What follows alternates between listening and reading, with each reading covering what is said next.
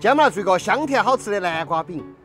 来，第一步把南瓜切下来，然后又是把皮皮给它切了。来，放到蒸笼高上蒸个七分钟。来，时间到，关火。揭开以后自然晾冷。来，晾冷了之后，这个南瓜的水不要浪费了哈。哇，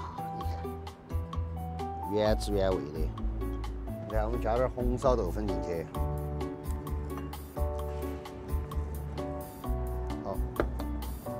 搅搅碎，喜欢吃糖的哈，还可以加点糖。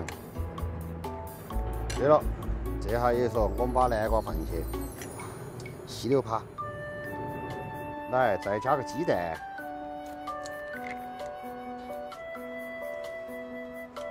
这下我们把它捣碎。刚才盆盆小了，换个大的，加汤圆粉子进去哈，然后把这个南瓜倒进去过起。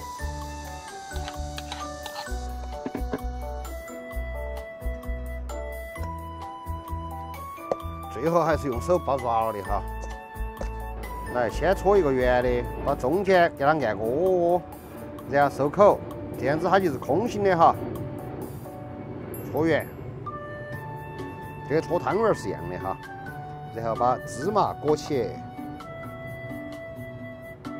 裹了芝麻之后，还是再给它搓一下，等儿它下锅以后就很圆，这样子，这是圆的哈。然后我们再来一个其他形状，形状其实也说是随便的哈。再来一个长条形的，你想要啥形状它就是啥形状。还有一种就是简单粗暴的，来你看哈，简单粗暴的手型的，你手是啥形状它就啥形状。我觉得有的时候做食品哈，你完全就是一种乐趣，你想咋来就咋来。再做两个圆的，一样一样做几个，我们就准备开始炸了。炸这个哈，一定要低油温。我们现在大概是四成油温啊。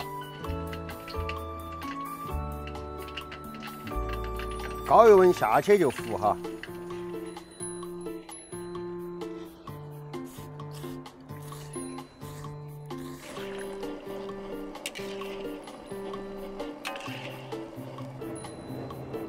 对了，时间到了，关火。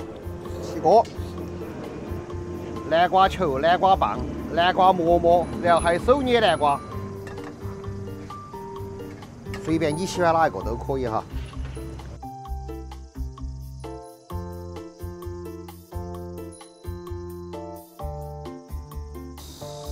喜欢啥子形状就是啥子形状，大随便。